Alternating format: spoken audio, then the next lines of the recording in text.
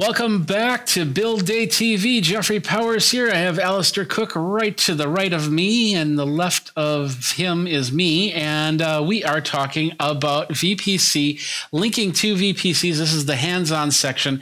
If you haven't seen the first part, you can check it out on the playlist over on YouTube. Go ahead and subscribe on YouTube, and uh, you can be a part of that playlist. And of course, hit that bell notification so you know when the next video comes out. We do publish every single Sunday with new uh, uh, content. So feel free to come back. They'll be premiered at about uh, 5 p.m. Eastern, so you can check that out then. So, all right. So, Alastair, we talked about linking two VPs to, to VPCs together, and you know it was like mind blown at that point. There's a lot of a lot of wires that can be put together and a lot of wires that can get crossed in your two VPCs. And of course, you have to do it correct because if you're linking to another business, you can cause a lot of trouble uh, just by not linking it correctly. Yeah, and communication as you're doing that link up is really important. Uh, when it's organization to organization, there's so much less visibility. And so hopefully you're in touch with the team on the other side of that peering connection. All right. So with the hands on, we're going to, uh, he's going to show us how we're going to do it. So let's, let's get started here. So here's one that I prepared earlier. On the left-hand side, we've got my standard Pizza VPC, the one we've used in the past, where I've got a couple of web servers that sit back in a private subnet, and I've got a public subnet. And I haven't drawn in this diagram the load balancer that sits in the public subnet. But I have added another EC2 instance called Jump Pizza. That's my jump host or bastion host that I use to connect in and then manage what's inside my VPC. It's the only uh, EC2 instance that sits in my public subnet. And, and so where, where is that in this example? We would not see it's it. called Jump Pizza on the left hand side. It's in the uh, pizza. Oh, there it is. One. There it is. Sorry, I missed it. So now that you've found Jump Pizza, you should be able to find Jump Pasta. Yes. Uh, over on the right hand side, I've created a new VPC called Pasta. Now, this VPC is simpler because, well, we don't need very much from it. Okay. So it, it has a public subnet and it has an EC2 instance in there called Jump Pasta. And I can connect from the internet to either of those two jump hosts but I can't connect to the web servers directly. And so I'll be doing some testing about how much I can connect from within. Okay. What we're going to do is request a peering connection from the pizza VPC to the pasta VPC, and then we're going to approve it from the pasta VPC side. So we'll establish this peering connection. Are we doing public and private or just public? So the peering connection is between the two VPCs. Then we're going to start changing some route tables. Got it. Okay. So what I'm going to do in this one is I'm going to tell the public subnet on the pasta side that it can talk to the entire pizza VPC over this peering connection. Okay. And then I'm going to tell the private subnet in pizza that it can talk to pasta over the peering connection. Okay. But I'm not going to tell the pizza public subnet about the pasta VPC. All right. So what we should see is that both jump hosts can talk to the web servers, but neither jump host can talk to the other. Okay. So let's see how this works. Looking at my VPC for a start, since we're setting up a peering connection.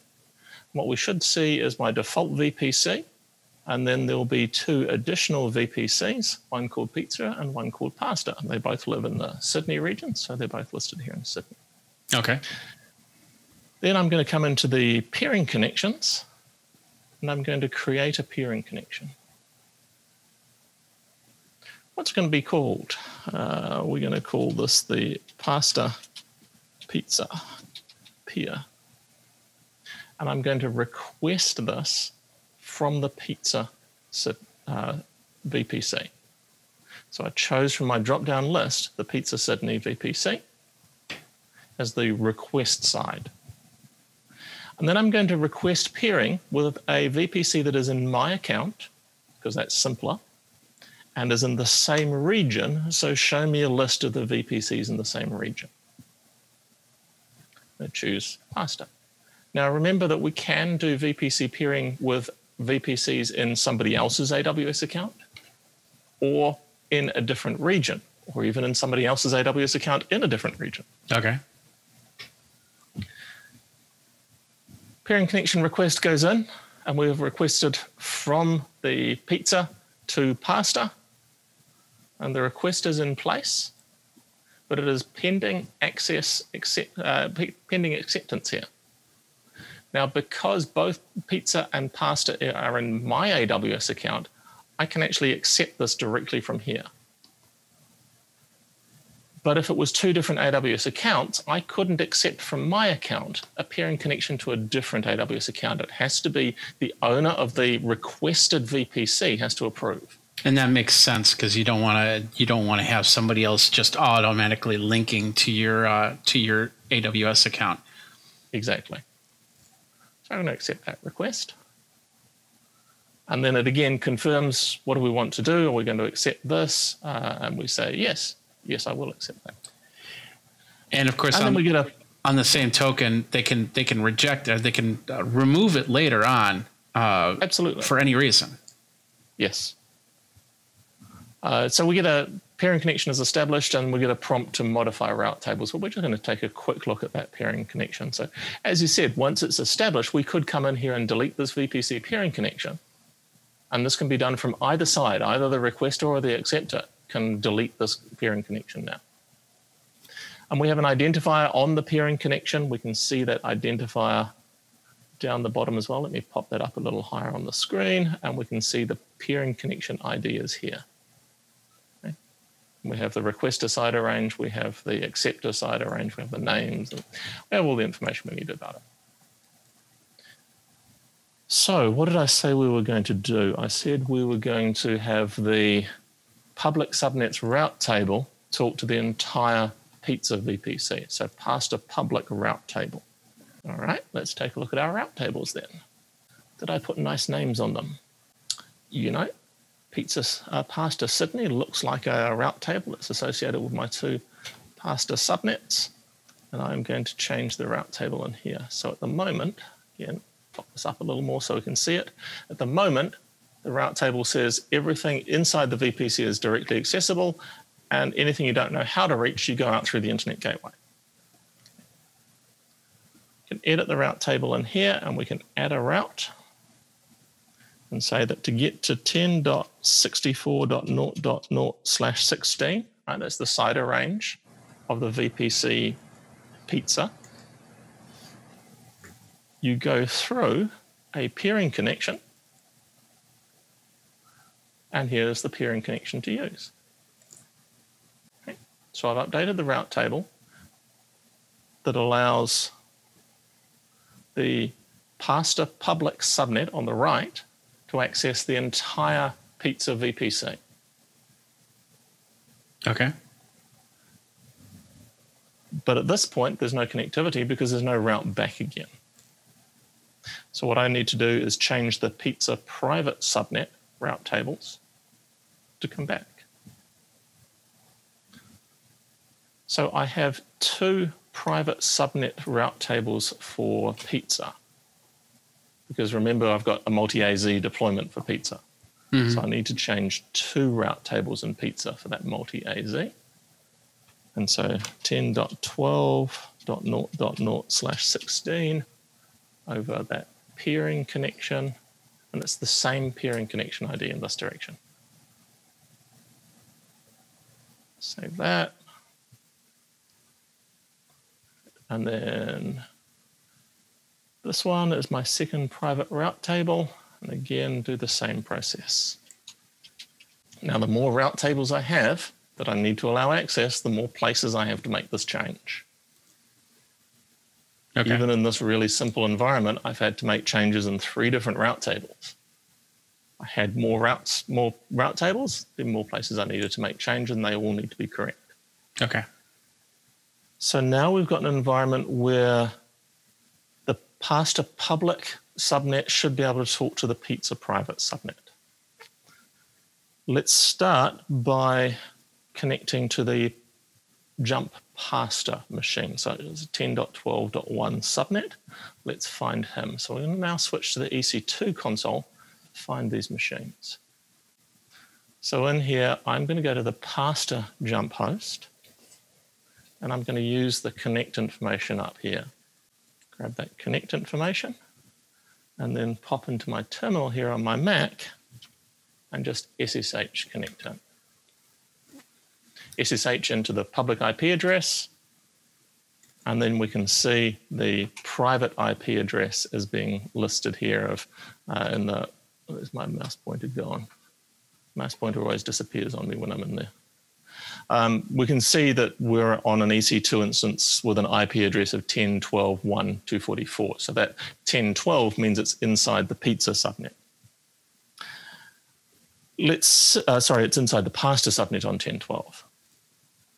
Let's see then if I can get to one of those pizza web servers that are over in the pizza side. So I'm on the pasta jump host and I want to get to the pizza host. So let's go to a pizza web. Let's pick this one. Again, can grab that connect information and then pop back into, this is the pasta jump. And I'm now going to SSH. And notice that it's to EC2 user at 10.64. It's okay. the private IP address of that web server. That web server doesn't have a public IP address. I can't get it to, get to it directly. I hit him. And this is where we find I have done something wrong. Because he should, ah, I know what I've done wrong. I haven't yet changed the security group on the web server to allow this SSH access. So what we should do then is change the security group that's on the web server. So let's take a look at it. It's Pizza Web, Pizza Sydney Web. And at the moment, again, let me pop these rules up. We have an inbound rule here that allows SSH from two uh, SSH only from a security group that's inside the same VPC. So, so need, this needed yeah. to be done. This needed to be done before we checked on that. So this is another layer of control that we have. Okay. So in addition to the route table, we can also add in here to allow a particular subnet to SSH in. Okay, so the security groups still apply when you've got VPC peering set up. The firewall was blocking traffic that didn't come from this, this security group at the top. Now I'm added a rule that allows that SSH traffic from the entire pasta subnet. Okay. Now if I pop back into my terminal, and do that again very quickly, it says, Hey, do you want to allow a connection in here? And you say, Yes. And now you can see that my IP address is 10.64. I came from 10.12 that was on pasta. I've now reached 10.64 that was in pizza. Okay. So that's proving that with the firewall rules in place, the route table in place, and the peering connection in place, I can connect from one VPC to another over that peering connection. Okay. Of course, if I pop back into here and say I want to go to instead of that 64, what was my EC2 instance? So let me pop back to the slides. Um, so we've shown from that jump pasta host access to Pizza Web. What I haven't yet shown is that the route table is blocking access to get to jump pizza. So let's take a look at that. I remember I didn't put a route table from from Pizza Public back to Pasta. Okay. So let's take a look at that one. What we need for that is the EC2 instance that is my jump host in Pizza and grab his private IP address just here and pop back into this, which is I've gone back to being on the jump pasta host 10.12 and instead of going to 1064.7, I'm going to go 1064.1, trying to get to that jump host. Now, the security group is wide open on here. This jump host allows SSH from anywhere. But because there's no route table back from that jump host that's in pizza back to pasta, I can't get back. Okay. The actual connection between the two doesn't doesn't work. So there are two places we could have stopped this connection across the peering connection. One was the route table, the second was the security group. So it didn't take us terribly long to establish a peering connection between these two VPCs and to make some updates to the route tables and to the security groups to allow connectivity between them. But you could see that there were quite a lot of touch points, even just for this very simple environment. We needed to remember all of them yeah. in order to get that connectivity up. Well, that was what I wanted to show you about pairing together multiple VPCs, allowing connectivity on the private side of your VPCs rather than going out the public side and potentially across the internet. Okay. Yeah, it's uh, it, it it's it's a little bit confusing. You have to really think through it. But you said you you script a lot of that stuff, correct? Yeah. So it it would be really common to have a lot of this configuration directly in either the deployment script that you use for building the VPCs or in some automation that you run afterwards. One of the models that I've seen is people using a, a Lambda function to run some actual application code that connects to their AWS account and says, What VPCs have I got? What peering connections have I got? What subnets have I got? And basically iterates through the whole lot. That's something that is terrible to do as a human being, but is awesome to do with some automation. So the, there is uh, some really good uh, programming capabilities talking to the AWS interfaces. And I guess that would be a topic for another episode as well, talking about some of those different ways of programmatically interacting with AWS APIs. Because as you get more and more mature as a user of AWS, you want those operational processes to be automated. Okay. Yeah, there's there's a lot involved here, and uh, you know we're we're just we're just uh, scratching the surface on some of this, right? Oh yeah, we're just at the beginnings. This gets uh, potentially much more complicated and much more interesting. All right. Well, what are we gonna what are we gonna learn next week then? So I think that the next episode is going to be about connecting your VPC back to your on-premises environment. So you've collected together this set of VPCs in AWS, but there's a whole lot of compute that still runs on premises. And so we often want a hybrid cloud environment where we treat our AWS VPCs as just another data center on our global WAN for our organization, even if that only means two data centers, one in AWS, one on premises. That connecting them together can be really important to allow data flow still in that private network range between on premises and AWS. Okay, perfect. All right. Well, Alastair, thank you very much for that. Uh, uh, there's a lot to soak in and and and understand in this uh, in this part, but we'll definitely uh, we'll definitely trudge on and, and go from there. And of course, if you guys have any questions, feel free to contact us. Go ahead and hit the subscribe button, like, and comment, and uh, follow the playlist because it's gonna we're gonna go step by step as best as we can with the uh, explanation and then the hands-on afterwards.